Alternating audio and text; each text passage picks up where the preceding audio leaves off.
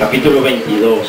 Vamos a estar viendo algo maravilloso en esta noche.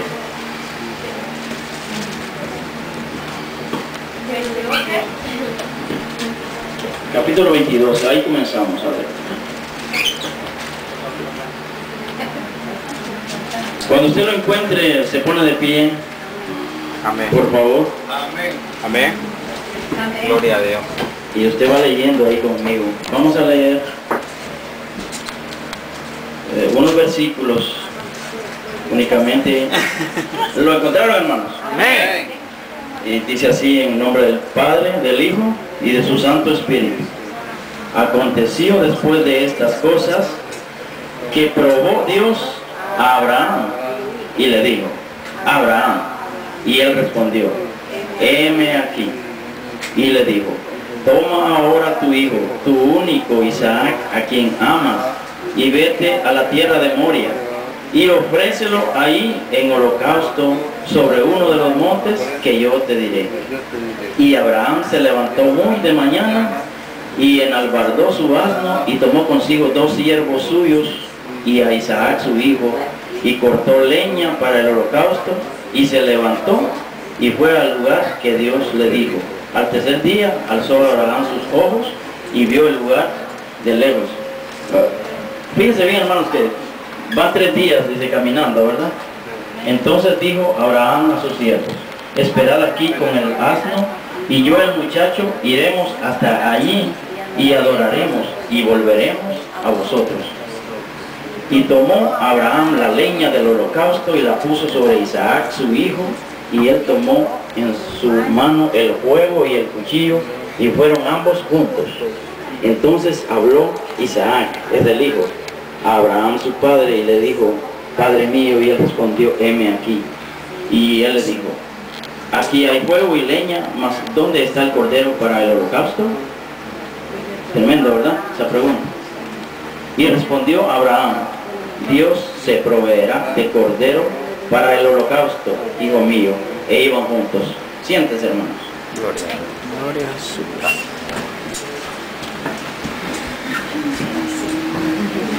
Yo no sé por qué, pero el Señor algo nos quiere enseñar en esta noche. Amén. Gloria a Dios. Algo nos quiere decir Él. Porque yo le decía, Señor, ¿qué, qué debo predicar ahora? ¿Qué, ¿Qué quieres que yo le diga a los hermanos? ¿Verdad? Y es el Señor el que pone el sentir. Es el Señor el, el quien te va dirigiendo. Amén. Que te va guiando. Entonces hemos eh, titulado esta pequeña meditación. Ustedes saben que el hermano Rolando es corto en su mensaje, ¿verdad? Me gusta ser breve. ¿no? Obedeciendo a Dios.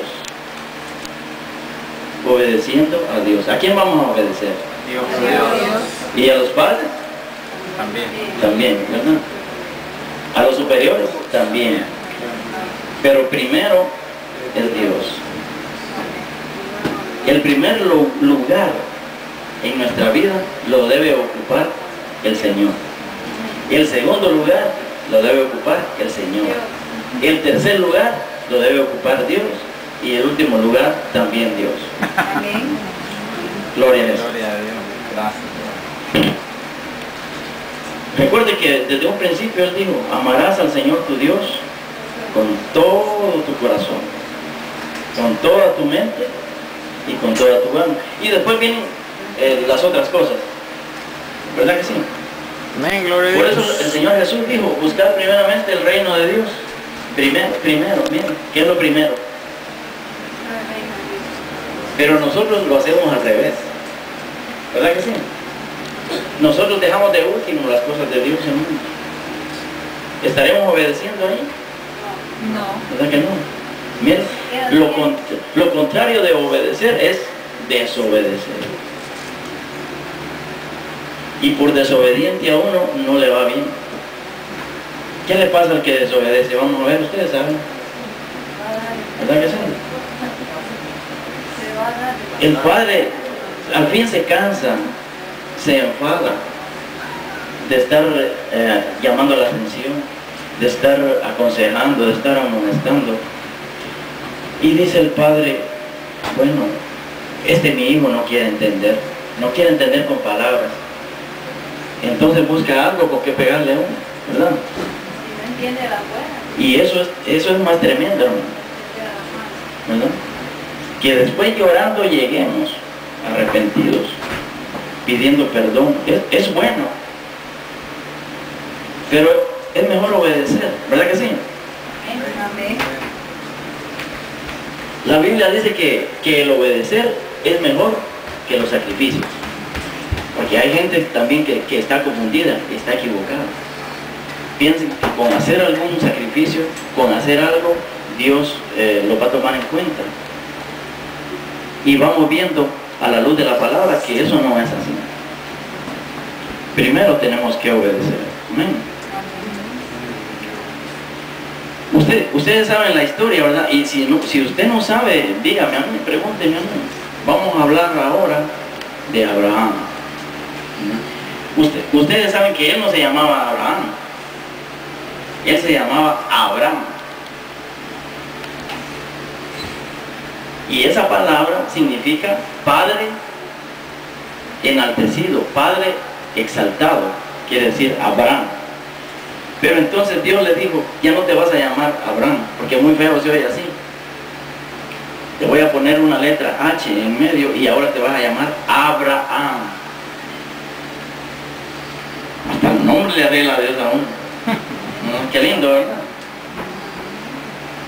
¿Y sabe por qué fue eso? Porque Abraham significa padre de multitudes.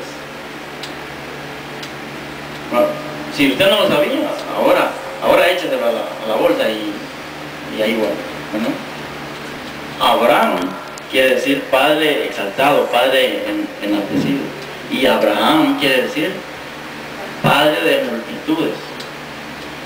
Porque ustedes saben que la esposa de Abraham se llamaba ¿cómo? Ver, Sara.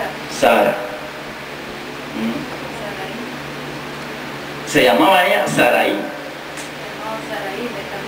Y entonces Dios le dijo, ya no te vas a llamar Saraí, te vas a llamar Sara, mi amor. Quiere decir princesa. Gloria a Dios. Ustedes saben de que ellos ya eran viejos y no tenían hijos, ¿verdad? Amén. ¿Han, han leído ustedes esto, hermano? Amén. Pero si no lo han leído, pues ahora póngale atención. Imagínense, toda pareja, todo matrimonio quiere tener hijos, quiere ver sus hijos, ¿verdad que sí? Yo creo que, que todos los que estamos aquí adultos tenemos esa bendición, porque es una bendición.